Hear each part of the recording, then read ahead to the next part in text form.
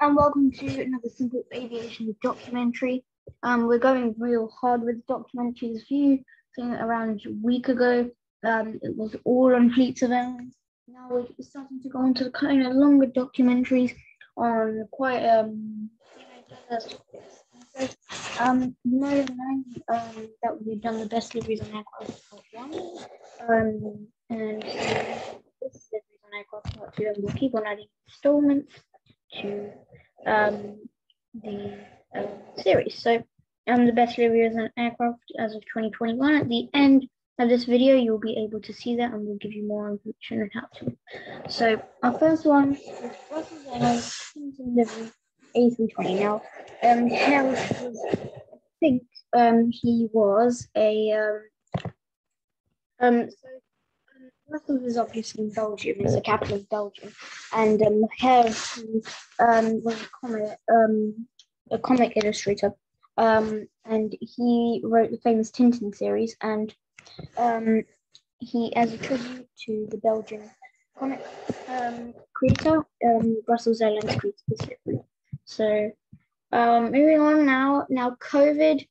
Um, while COVID has, uh, you know, affected us all, um, in some way or the other. And so it's also affected airlines and, you know, to promote wearing masks and stuff and um, just to have a bit of fun in a way.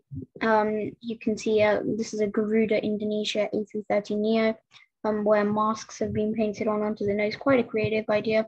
We've also seen this on a Pobeda 737 and um, United um, workers also put a proper, just one-time use a massive mask on their 787, but that's not a livery, it's kind of a cheating thing, but yeah, we managed to squeeze it in. And we've also got the Cargolux um, 747 with the mask here. I think this one is quite nice, but um, I'd say my favorite would probably be the Garuda Indonesia mask. Um, but yeah, the Cargolux mask also looks nice in the 747, um, all on the nose and not without my mask is that livery. Moving on, we have the Dutch KLM Royal Dutch Airlines Orange Pride livery. Now, orange is the um, colour of the Netherlands, um, and you can see on the the Dutch team cricket jersey, I think, and it's also on this livery to you know celebrate the Netherlands in general, and it's a nice. And you know, blue is also another big colour of the Netherlands, and so it's all together just a nice livery representing the Netherlands. Nice fade of colours in between there nice color selection and this bit of the aircraft is literally just the normal livery and it's nice how it's blended in with the orange and it's a nice swoop there. I'd kind of like this to see painted on all of the I think about you, but I think that might be good. Uh, I think it might look good up on, on basically all of but you know, we'll see. Um, moving on, we have the BEA A319. Now, obviously British Airways is the result of lots of mergers of airlines and stuff. And so BEA was one of those airlines and um, to celebrate their 100th anniversary, um, British Airways. And so quite a couple of commemorative liveries that British Airways put. Um, they put the Negus um, livery 747 um, and the Negus one is not this one, but this one the Landor livery, which is probably my favorite out of them all, is this one. And um, obviously they have the BEA 319. I can't really imagine the BEA livery. Um, they had the British Airways Landor 747, as I said, um, and the British Airways Negus 747. Um, and all of these aircraft were um, just normal 747 400s. They weren't like some really old aircraft or something. Um, they were and um, all of these um, aircraft were retired, and but they um, have not been scrapped. They are in museums. Now, moving on, we've had a lot of retro liveries currently, just with those British Airways ones, and we also have a Air Canada one, um, and this one is Trans Canada Airlines, which is what Air Canada and as I said, you know, it's gone through a lot of mergers and stuff to create this Air Canada. And it's a nice salute to the um, previous airlines um, that Air Canada was. And um, and I, I think it's a nice deep grey, nice retro kind of style to it. and uh, yeah, and um, we're gonna have another retro livery again, um, but it's not a completely retro livery. So here we have JetBlue's livery. Okay, so I know most of you are scratching your heads and being like, JetBlue hasn't even been around for 20 years. Why on earth does it have a retro livery?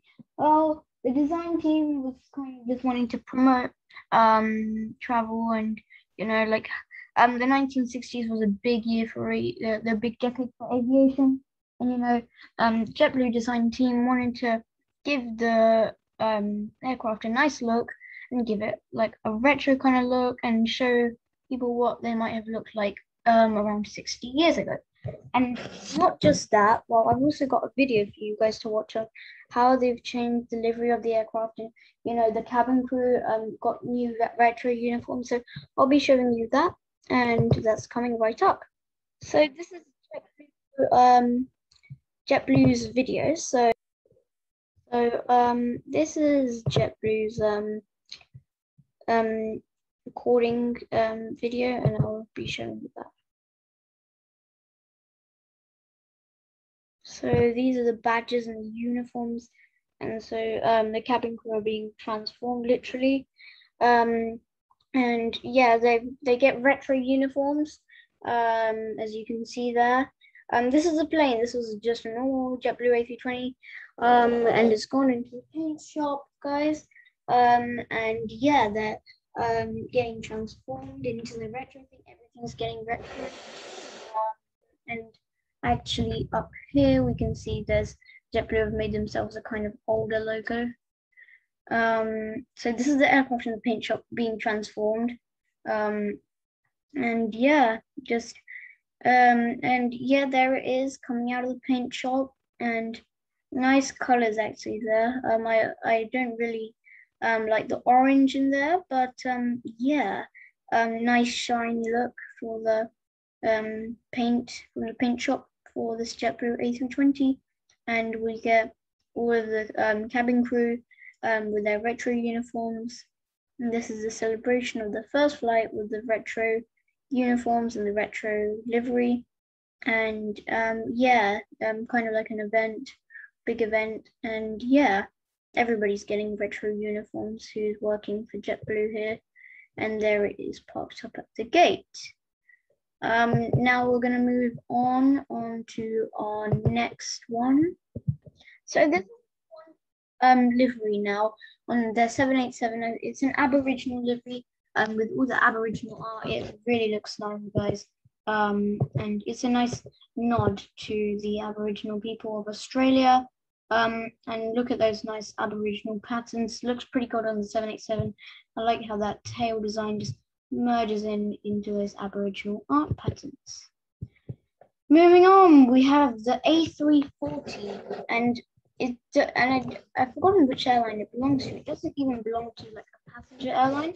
Um, and it has thank you NHS here, and NHS is the National Health Service of the United Kingdom, and um, I'm pretty sure that the National Health Service is doing a pretty good job um, handling COVID. So um, that's a nice salute to the um, key workers um, in the United Kingdom and nice red and blue on the aircraft to show support for the NHS.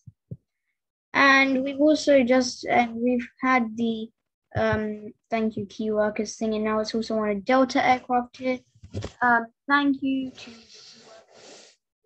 and um, you'll see. Um, actually, this was not the background that it that the aircraft was originally in.